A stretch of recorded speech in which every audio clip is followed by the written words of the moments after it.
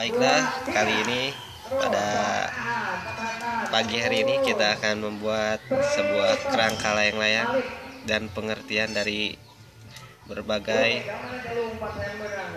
posisi-posisi pada kerangka layang-layang pesawat tersebut.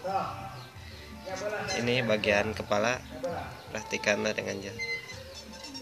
Bagian tengah, bagian sayap, bagian sayap, di bagian belakang ada sirip ini sirip ada ekor. Ekor dari pesawat fungsinya. Untuk menyetabil fungsi ekor dari pesawat fungsinya untuk menyetabilkan tekanan angin yang sangat tinggi supaya layang-layang tidak langsung jatuh atau miring pada posisi yang berlebihan ini ada dari dalam kerangka pesawat ada daerah atau ruang kosong tempat untuk angin menyetap untuk menyetabilkan angin supaya layang-layang tidak berputar.